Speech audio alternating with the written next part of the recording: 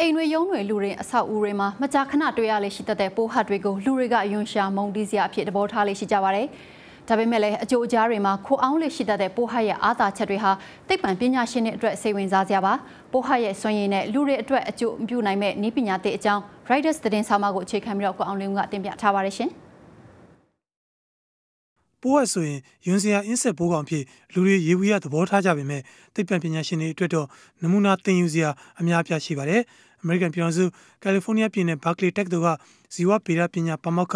Robert Full ကတော့ဇီဝစက်ရုပ်တွေဖန်တီးဖို့ပိုးဝက်တွေရဲ့ခန္ဓာကိုယ်ဖွဲ့စည်းပုံကိုလေ့လာခဲ့သူပါ။ So you might think the best shape changers are ပုံသဏ္ဍာန်အမျိုးမျိုးပြောင်းလဲရမှာရေပွဲတို့တီကောင်တို့ပတ်ကြည့်တို့ဟာကောင်းဆုံးလို့ထင်ရပေမဲ့ပိုးဟတ်တွေကသာအကျိုးအကျနေရာတွေကိုဝင်နိုင်တာတွေ့ရပါတယ် စမ်းသပ်လေးလာမှုတွေမှာတော့ပိုးဝတ်တွေရဲ့ခန္ဓာကိုယ်လေးပုံတစ်ပုံလောက်သာရှိတဲ့လိုင်ကောင်းတွေမီလီမီတာအရွယ်သာရှိတဲ့အပေါက်တွေတဲကိုသွားခိုင်းပြီးကွန်ပျူတာကိုအခြေခံတဲ့ဓာတ်မှန်ရိုက်မှတ်တမ်းတင်မှုတွေလည်းလုပ်ခဲ့ကြတာပါ In order to understand how can they go in these small spaces we actually did CT scans ဒီလိုနေရာချင်းချင်းလေးတွေမှာဘလို့သွားလာကြသလဲဆိုတာကိုသိနိုင်ဖို့ CT scan နဲ့အထဲကိုကြည့်တဲ့အခါမှာအခက်အခဲမရှိတာကိုတွေ့ရပါတယ်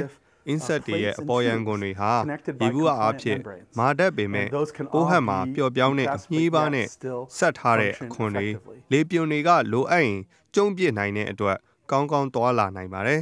ပိုးဝတ်တွေကသူတို့ရဲ့ခန္ဓာကိုယ်အရွယ်အစားတဝက်လောက်ထိကျုံလိုက်ရပေမဲ့ ပုံမှန်နှုံးလောက်နီးပါပြင်းနိုင်စွမ်းရှိတာကိုလည်းသူတည်တည်တွေ့ရှိခဲ့ကြတာပါပိုးဝတ်ရဲ့ပျော်ပြောင်းတဲ့ခန္ဓာကိုယ်တိဆောက်ပုံကြောင့်အလေးချိန်အစာပေါင်း900လောက်ရဲ့ဒဏ်ကိုတော့အထိခိုက်မရှိခန္ဓာရည်ရှိတာကိုလည်းစမ်းသပ်တွေ့ရှိခဲ့ကြပါတယ်ပိုးဝတ်ရဲ့အစွမ်းတွေကိုအခြေခံပြီး CRAM လို့တူကောက်ခေါ်တဲ့စက်ရုပ်တစ်ခုကိုလည်းသိပ္ပံပညာရှင်တွေဖန်တီးခဲ့ကြတာပါ It's palm size, it's bigger, so it can contain uh, more uh, payload. လက်ဖွားလောက်ရှိပြီးအရွယ်ပိုကြီးတာကြောင့်ရာဝတ္ထုတွေအာယုံခံကရိယာလိုပစ္စည်းတွေကို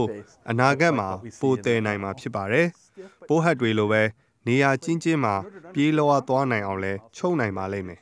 လူနေစာအုပ်တွေရဲ့အကျိုးကြားတွေမှာထူးထူးခြားခြားရှင်သန်သွားလာနိုင်စွမ်းရှိတဲ့ပိုးဝက်ရဲ့စွမ်းရည်ကိုအခြေခံဖန်တီးထားတဲ့စက်ရုပ်တွေကိုတော့အရေးပေါ်အခြေအနေကြုံရတဲ့နေရာတွေမှာရှာဖွေကယ်ဆယ်ရေးလုပ်ငန်းတွေလုပ်ရမှာအသုံးပြုနိုင်မှုလဲသူတေသီတွေရည်မှန်းထားကြတာဖြစ်ပါတယ်ခင်ဗျာ။